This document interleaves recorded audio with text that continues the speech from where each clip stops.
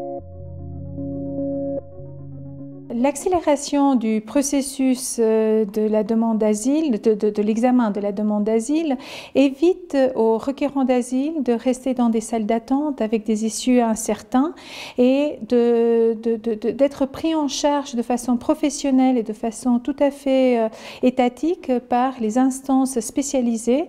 Je pense notamment aux femmes et aux enfants qui sont les populations les plus vulnérables, mais je pense également aux jeunes non accompagnés qui arrivent en Suisse seuls, sans leurs parents, et que cette nouvelle loi leur permettra d'avoir un accompagnement beaucoup plus rapproché et spécialisé dès le départ.